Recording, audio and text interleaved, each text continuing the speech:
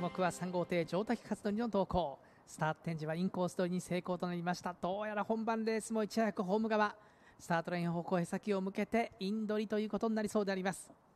予選最終日第4レースとにかくナルトです。1号艇谷村和也2号艇川崎誠二3号艇上滝勝則。4号艇柳井啓太。5号艇山崎小羽6号艇松田隆。以上6選手の対戦です。今日は2走で11点で6.00クリアということになりますがここはあっという間にインコース取りに成功となりました。初日は4着2着という成績です。上滝。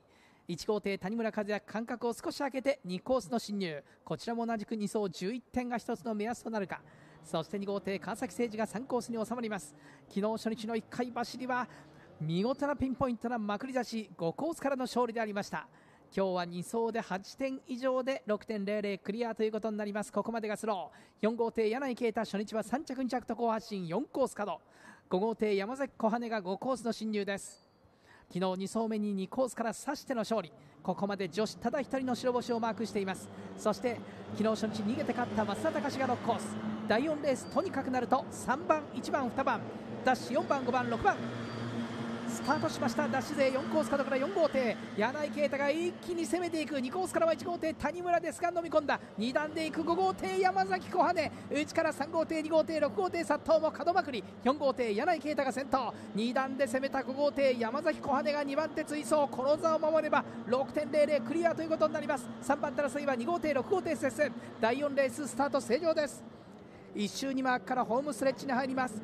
先頭は独走4号艇柳井啓太2番手追走5号艇山崎小羽2号艇川崎誠二3番手上位の体系4番5番2番の体制1号艇谷村和也4番手後方6号艇3号艇が続きます。上位の体系4番5番2番2周1マークから向こう上面先頭でクリアは4号艇柳井啓太5号艇山崎小羽2着勝負がっちりと2番手をキープしているそして1号艇谷村が内をついて逆転3番手に浮上。上位体系は4番5番1番と変わりました。一定審査2号艇川崎誠二4番手後方6号艇3号艇となっています。4番5番1番に変わって2周にマーク。2号艇川崎誠二が4番手から果敢に攻め立てますがブロックしながら握って回って1号艇谷村が3番手リードを広げ4番5番1番最終周回に入っています。角4コースから好スタート豪快にまくりきりました。4号艇柳井啓太が先頭後半レースを前に6.00に達するという状況。そして2着勝負5号艇山崎小羽が見事に5コースから叶えたか2番手。1号艇谷村和也3番手。4番5番1番の体制。3連単45151倍ちょうどとなっています。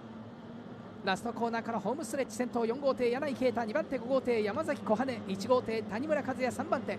上位の体系4番5番1番で第4レースゴール。先頭4番柳井5塁。2番手5番山崎5塁。3番手1番谷村5塁。2番川崎6番松田5塁。ラスト3番上滝ゴールインです。